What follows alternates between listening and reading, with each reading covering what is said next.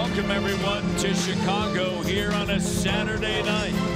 It's the Chicago Bulls and the Toronto Raptors. Here's Danny Green, Raptors by four. The three, good. Oh, you gotta love it. It's a 7-0 run, Jack Armstrong. Oh, you gotta love it. And Loyd is the first player out of the University of Indianapolis is signed with an NBA team, signed a two-way deal with Toronto. There you go, right there, Mr. Loyd. Knock it down.